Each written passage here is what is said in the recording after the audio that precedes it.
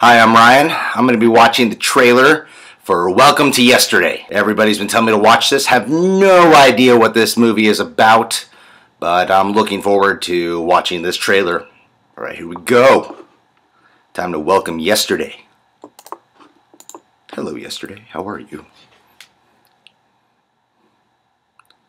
Hey, what is this? Well, it's Dad's old camera. Nice, I gotta work it again. Break it out. That's my seventh birthday. Whoa, did you see that? What? I just saw something weird. You guys, you gotta see this. There's this footage of me at my seventh birthday. We were all at your seventh birthday. Just watch this. Right there. Look in the mirror. That's me. That is my t-shirt. That is Whoa. my backpack.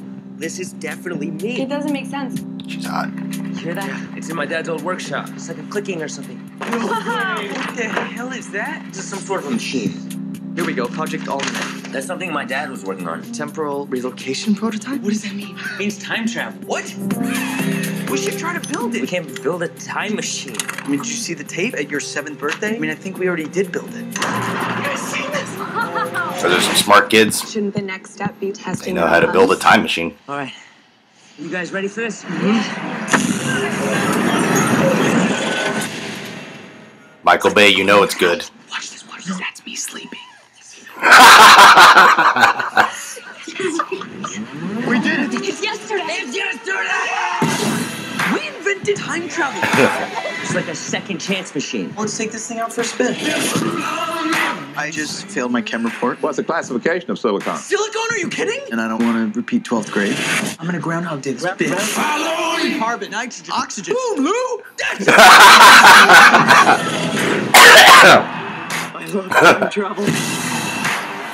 Check it out before the world ends. I have to win the lottery. Welcome to Maserati. It's like everything I would do. Before the world ends, I have to fall in love.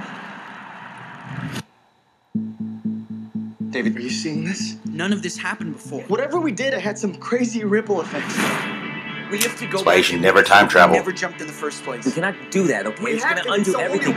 I'm gonna go back and fix everything.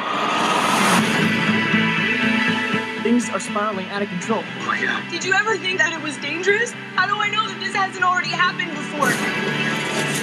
Just keep thinking I can go back and I can fix it myself. I can time travel and never work out? I have to figure out how to make it go back even further. It could kill you, David.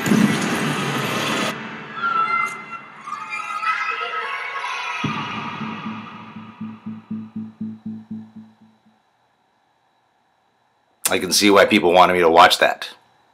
But honestly, it looks a little bit like I, you know, every time traveling movie does that. You know, like oh, time traveling is kind of cool, but then everything gets fucked up. You know that butterfly effect thing. Yeah, but if I had a time machine, I would probably time travel back in time and fuck Katharine Hepburn. Because who do you know today that has actually had sex with Katharine Hepburn? They're all dead now.